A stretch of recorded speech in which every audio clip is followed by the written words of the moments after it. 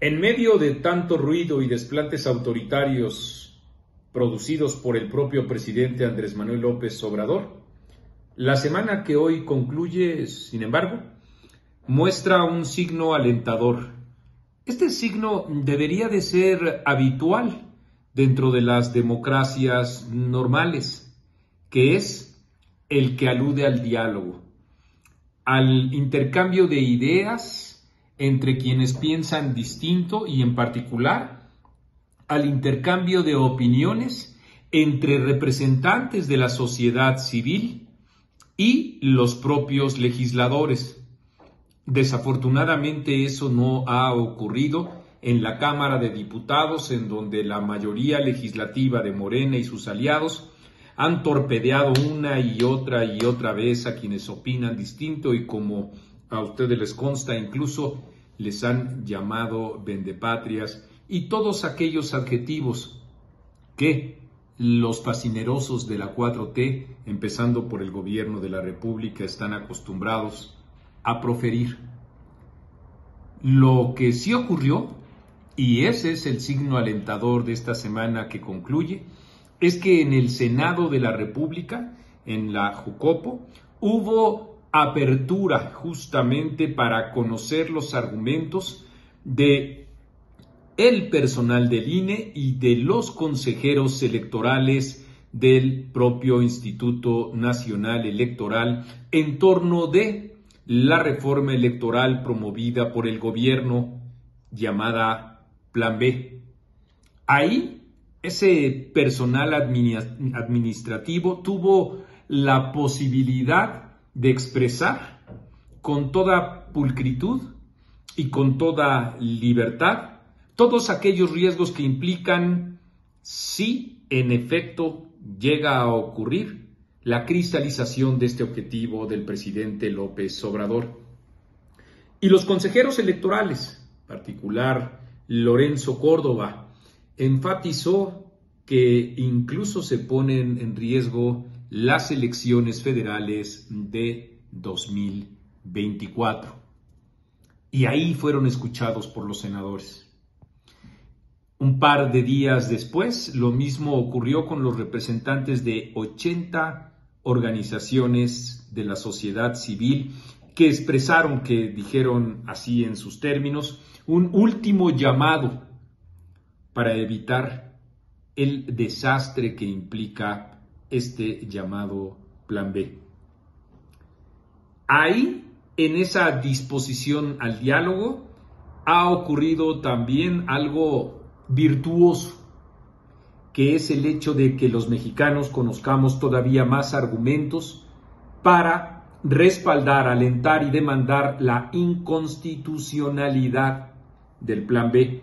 Por eso el Senado se convirtió en un foro importante de reverberación, de amplificación de este eh, conjunto de argumentos que demuestran palmariamente la necesidad de esta declaratoria inconstitucional. Por ello también hay que decir, así sea de pasada, que se ha generado una confusión. Eh, esta se produce como una mezcla de no conocer los procesos legislativos y también como una intención malintencionada, así como se escucha. Ignorancia y malintención han querido entrever la posibilidad de que en el Senado se pudiera votar en contra del plan B. Esto no es posible. Los procesos legislativos han concluido desde la Cámara de Origen en la Cámara de Diputados hasta la Cámara que recibió el mismo dictamen. Ricardo Monreal votó en contra del Plan B y, sin embargo, en efecto, también salió adelante en el Senado con los demás eh, legisladores de Morena. Hay que ser muy claros. Lo que en la próxima semana se va a resolver es el artículo 12 que está relacionado con la posibilidad de que los partidos intercambien votos entre sí, lo que comúnmente se le ha llamado como vida eterna para los partidos pequeños. Para esos partidos aliados de Morena se votará en contra. y con eso se fortalecerá ya este trámite administrativo y legislativo que una vez promulgado podrá ser objeto, deberá ser objeto de su propio cuestionamiento constitucional. Ahí, los consejeros electorales, esto es el INE, las organizaciones de la sociedad civil, estas que les acabo de comentar, más las que por supuesto se quieran sumar, los partidos políticos, solos o de acuerdo con su alianza, todos aquellos que consideren pertinente y esperamos que sean muchos, establecerán este recurso de inconstitucionalidad y ahí, en la Suprema Corte de Justicia, estaremos viendo y atendiendo y demandando la propia nulidad de esta ley que busca en efecto destazar al INE, contrario a lo que el porro que tenemos ahora habitando en Bucareli, el secretario de Gobernación Adán Augusto López, ha dicho.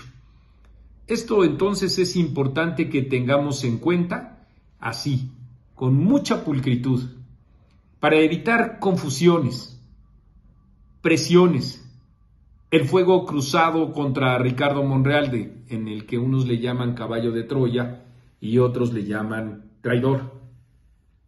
No dejemos que nos confundan este tipo de campañas que, como he dicho, mezclan la ignorancia con la cizaña.